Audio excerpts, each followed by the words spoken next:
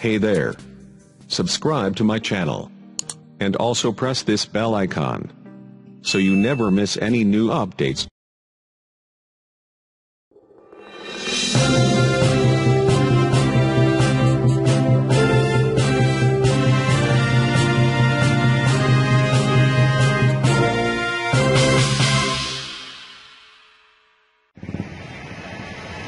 हाल ही में हुए पुलवामा में आतंकी हमले के बाद आज मुंबई में सटे शहीद श्रीनगर के पास जो गई जो ब्लास्ट हुआ है। ऐसा कहा जा रहा है कि दो युवक बाइक जो बाइक सवार थे उन्होंने ब्लास्ट पर पूरा सामान बंदूक यहाँ पर फेंका इससे कोई अपघात तो नहीं हुआ।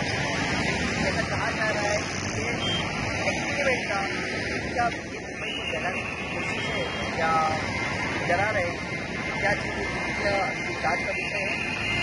आज यहाँ पर मुंबई में दस बजे के करीब ये घटना हुई है। ये जो भी यहाँ पे बच्चों की यहाँ पे स्टूडेंट जो भी गए वो अभी फॉरेंसिक लैब में उसको भेज दी गई है।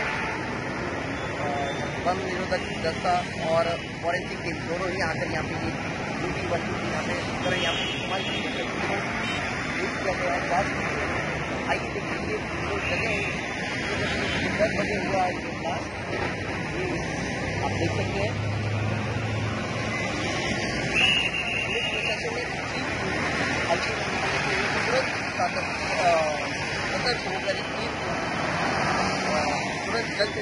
कार्रवाई कर सकते हैं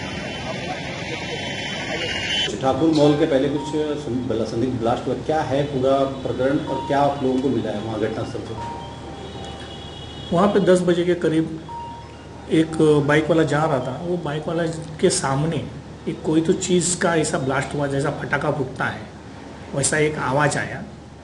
इसके लिए उसने हमको कॉल किया, हम वहाँ पे गए। वहाँ पे जाने के बाद हमको ऐसा प्रथम दर्शनी लगा, कुछ तो माइनर लो इंटेंसिटी का ऐसा कुछ तो ये हुआ है।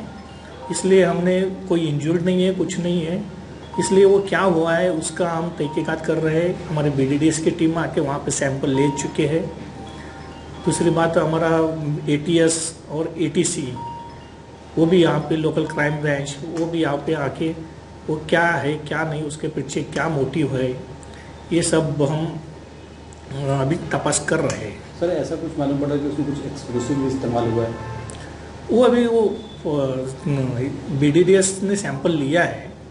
उसमें वो पता चलेगा क्या है जो, क्या जो मटेरियल पुलिस को मिला है उसमें कुछ छर्रे वर्रे भी मिले हैं क्या स्पॉट पे? छर्रे नहीं है ऐसा एक दो तीन गोली है वो ball ball bearing bearing ball जैसा है दो तीन मिले हैं ऐसा रोड के साइड में मिले हैं।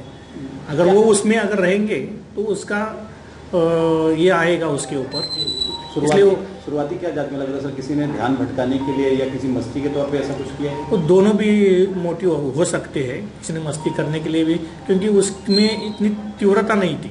सर इस पर क्या मामला दर्ज किया जाएगा ये एक्सक्लूसिव एक्ट के तहत हम मामला दर्ज करेंगे और उसका तपास कर लेंगे। ठीक है सर।